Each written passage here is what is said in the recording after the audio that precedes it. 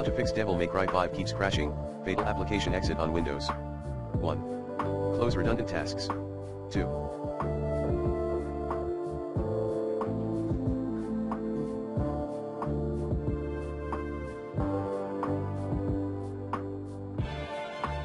Update your graphics drivers using the recommended Avast driver updater in this video guide. 3. Run the game on DirectX 11.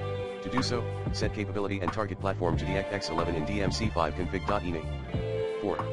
Verify the game files in Steam. 5. Install DirectX and Visual C++ redistributable. 6.